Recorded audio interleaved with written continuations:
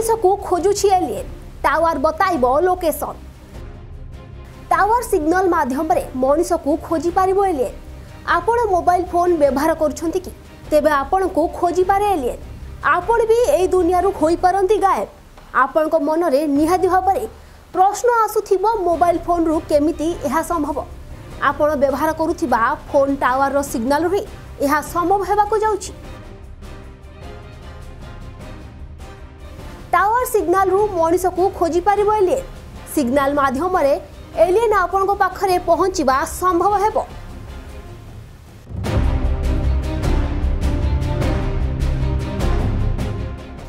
ଦୀର୍ଘ ବର୍ଷରୁ ବୈଜ୍ଞାନିକମାନେ ଅନ୍ୟ ଗ୍ରହରେ ଏଲିଅନ୍ଙ୍କ ସନ୍ଧାନରେ ଲାଗିଛନ୍ତି କିନ୍ତୁ ଏପର୍ଯ୍ୟନ୍ତ ଏଲିଅନ୍ଙ୍କର କୌଣସି ଅସ୍ତିତ୍ୱ ବାବଦରେ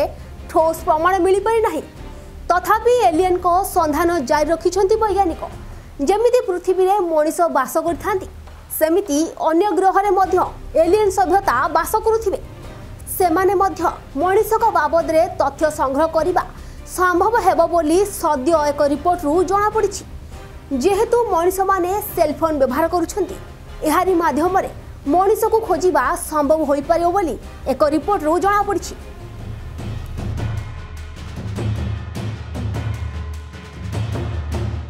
ଅଧ୍ୟୟନରୁ ମିଳିଥିବା ସୂଚନା ଅନୁଯାୟୀ ପୃଥିବୀର ଆଖପାଖରେ ଥିବା ନକ୍ଷତ୍ର ମଣ୍ଡଳ ବାସା ବା ଷ୍ଟାର ସିଷ୍ଟମରେ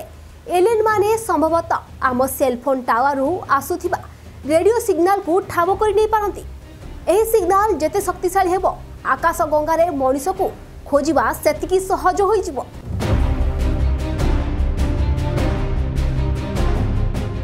ମାଞ୍ଚେଷ୍ଟର ୟୁନିଭର୍ସିଟିରେ ଆଷ୍ଟ୍ରୋଫିଜିକ୍ସର ଜିଡ୍ରୋଲ ବ୍ୟାଙ୍କ ସେଣ୍ଟର ନିର୍ଦ୍ଦେଶକ ତଥା ଅଧ୍ୟୟନର ଲେଖକ ମାଇକ୍ ଗାରେଟ୍ କହିଛନ୍ତି ରେଡିଓ ସ୍ପେକ୍ଟ୍ରମ୍ ଯୋଗୁଁ ପୃଥିବୀ ପୂର୍ବ ଅପେକ୍ଷା ବେଶ୍ ଉନ୍ନତି କରିଛି ଆଗକୁ ଏହା ଯେତେ ଶକ୍ତିଶାଳୀ ହେବ ସେତିକି ବିପଦ ମୁହାଁ ହେବ ଯଦି ଅଧ୍ୟୟନରୁ ମିଳିଥିବା ସୂଚନାରେ କୌଣସି ସତ୍ୟତା ଥାଏ ତେବେ ଉପଯୁକ୍ତ ଟେକ୍ନୋଲୋଜି ମାଧ୍ୟମରେ ଯେକୌଣସି ଏଲିଏନ୍ ସଭ୍ୟତା ଆମକୁ ଠାବ କରିବାରେ ସକ୍ଷମ ହୋଇପାରିବ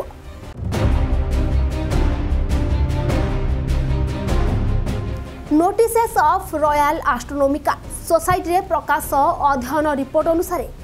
গবেষক মানে ক্রাউড সোর্স ডাটারে ব্যবহার করে যেপরি ফোন টাওয়ারু রেডিও সিগনাল লিকু সিমুলেট করা যাইপারিব এসহ এহা নির্ধারিত করা যাব যে অন্য গ্রহরু এই সিগনাল গুড়ি ঠাব করা কেতে কষ্টকর হব সেইপরি কেউ সিগনাল কু পৃথিবীর কেতে দূরর ঠাব করি হব তাহা উপরে মধ্য অধ্যয়ন করা যাଉଛି bureau report Nandi Ghosh digital